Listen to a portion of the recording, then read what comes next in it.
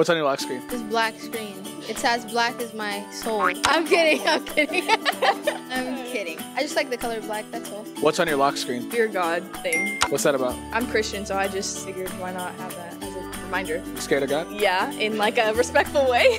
What's on your lock screen? The moon. What's that about? I just thought it looked nice. You know, I don't wake up to like a big bright, you know, lock screen.